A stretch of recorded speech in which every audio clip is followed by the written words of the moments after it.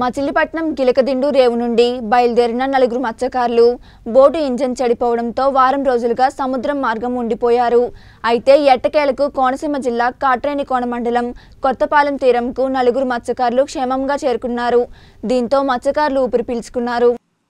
మత్స్యకారులు Venkateswararao Ramani Nancharaiah Chakka Narasimhaswamy Vishwanathapalli Mastan boat engine చెడిపోవడంతో వారం రోజులుగా సముద్రంలోనే గడిపారు. మధ్యలో కొన్ని బోట్లు ఎదురైనా ఎవరూ సహాయం చేయలేదని మత్స్యకారులు ఆవేదన వ్యక్తం చేశారు. కొత్తపాలెం తీర ప్రాంతానికి చేరుకున్న మత్స్యకారుల వివరాలను మెరైన్ సిఐ చెన్నకేశవరావు సేకరించారు. వైద్య పరీక్షల అనంతరం వారి స్వగ్రామంకు అధికారులు పంపనున్నారు.